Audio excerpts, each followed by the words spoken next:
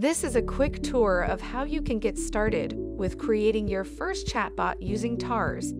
Once you are in the dashboard, you'll be able to choose to create a chatbot from any of the existing chatbot templates defined by industries, or you can wish to create from scratch by clicking on Create a Chatbot. Give your chatbot a name and you are good to go.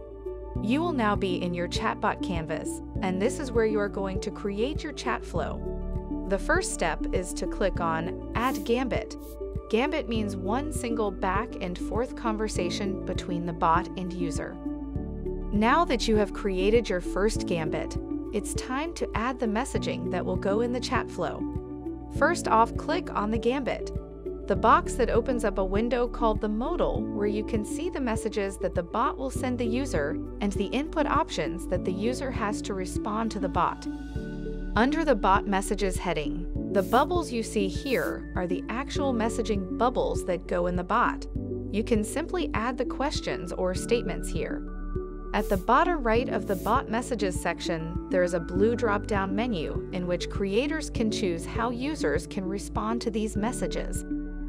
In the TARS Bot Builder, we have several different ways to receive input from users.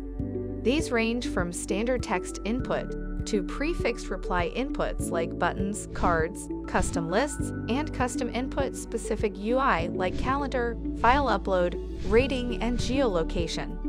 Once you are done with the first gambit, add more gambits. A series of gambits makes a conversation, and you will have to join one gambit to the other for the conversation to flow. Branching allows the chatbot creators to redirect the conversation flow based on the button the user selects.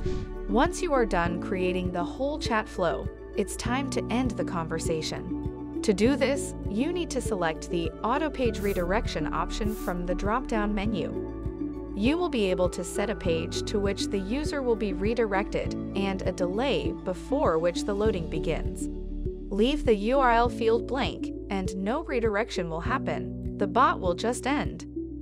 Now that you can create have the whole chat flow, you need to be able to use the bot, right? Go ahead and click the Publish Chatbot button in the top right. You will have to click on the Publish Chatbot button as and when you make changes in the chat flow. Once you have clicked on the Publish Chatbot button, test out your chatbot by clicking on Launch Landing Page. To use chatbots in your own organization, book a free chatbot consultation at hellotars.com/demo or click the link in the video description. Again, that's hellotars.com slash demo.